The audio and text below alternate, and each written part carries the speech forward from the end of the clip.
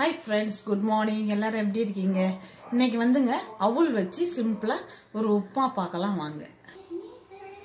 இங்கே பாருங்கள் நான் அவுல் வந்து திக் அவுல் எடுத்து உப்புமாக்கெல்லாம் திக் அவுள் தான் எடுக்கணும். நைஸ் அவள் தின் அவள் எடுக்கக்கூடாதுங்க. அது ரொம்ப ரொம்ப குழ ஆகிடும் இதை வந்து நல்லா நான் வாட்டர் ஊற்றி நல்லா வாஷ் பண்ணிவிட்டு ஊற வச்சு வச்சுருக்கேன். இந்த ஊர்ன அவல் தான் இது. எப்படி இருக்குது பாருங்கள் நல்லா உதிரியாக இருக்குது பாருங்கள் ஊர்ன அவல் இது. இந்த மாதிரி ஊற வச்சு வச்சுக்குங்க.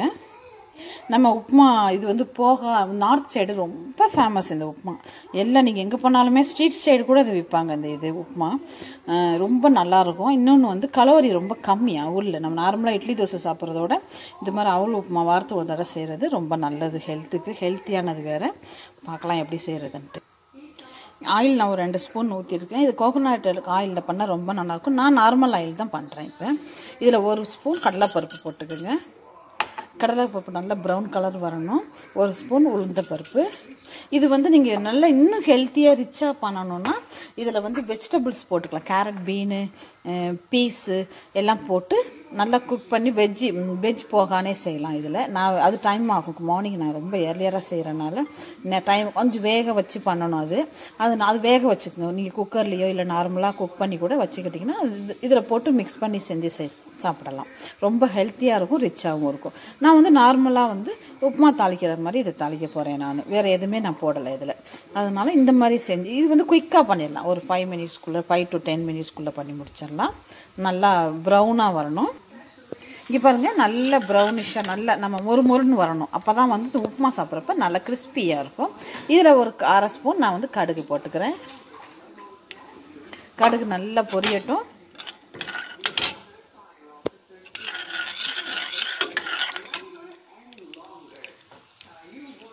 கடுகு நல்லா பொரியுது. கருவேப்பிலை இருந்தால் போட்டுக்கோங்க. என்கிட்ட கருவேப்பிலை இல்லை. நான் பச்சை மிளகா ரெண்டு பச்சை மிளகா போட்டிருக்கேன்.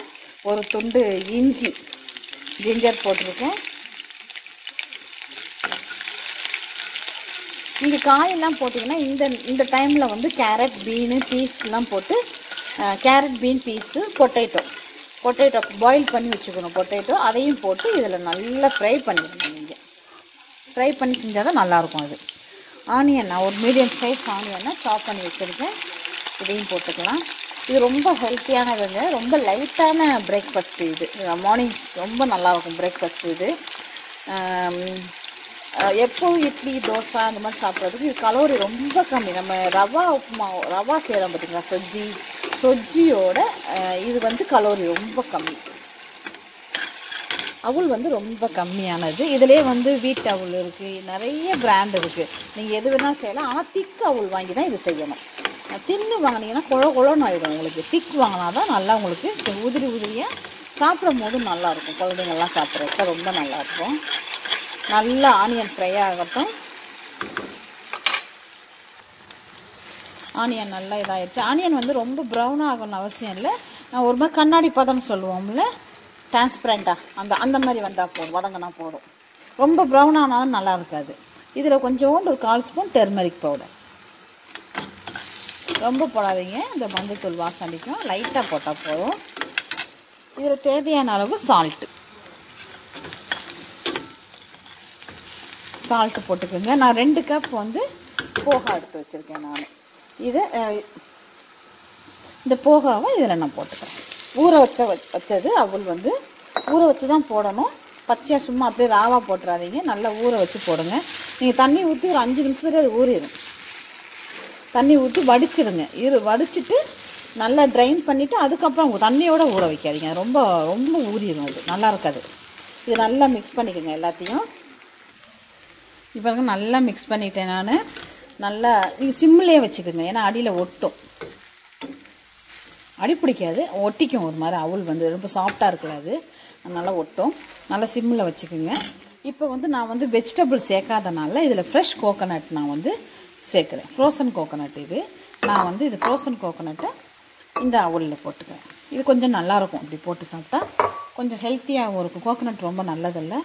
இந்த மாதிரி ஃப்ரெஷ்ஷாக துருவி நான் கொஞ்சம் கட்டியாக இருக்குது ஃப்ரோசன் கோகோனட்டு இதையும் நல்லா மிக்ஸ் பண்ணிடுங்க.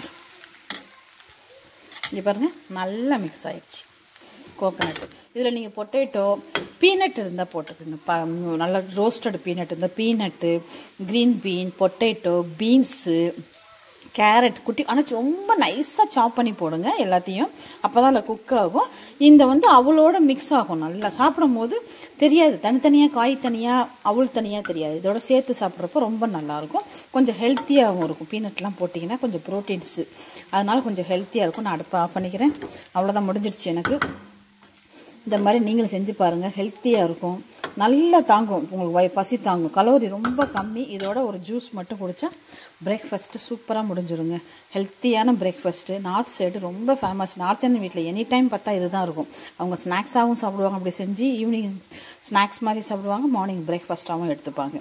நீங்களும் செஞ்சு பாருங்கள் கண்டிப்பாக உங்களுக்கு பிடிக்கும். பிடிச்சிருந்தால் லைக் பண்ணுங்கள் ஷேர் பண்ணுங்கள் யூஎஸ் அல்பாசனுக்கு சப்ஸ்கிரைப் பண்ணுங்கள் தேங்க்யூ ஸோ மச் நாவல் சுவை மலரட்டும். மீண்டும் சந்திப்போம். பாய்